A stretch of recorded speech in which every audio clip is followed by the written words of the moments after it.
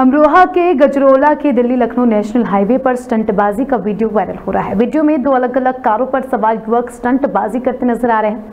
Highway पर दो luxury कारों की खिड़की से युवक बाहर निकलकर गाने पर डांस कर रहे हैं। बता दें, इकतीस दिसंबर के चार जनवरी तक वायरल हुआ ये पांचवा वीडियो है जो हाईवे पर स्टंटबाजी करते हुए ऐसे वीडियो सामने आ रहे हैं, जिन पर एक्शन करते हुए पुलिस ने कई लग्जरी गाड़ियों को सीज भी किया है।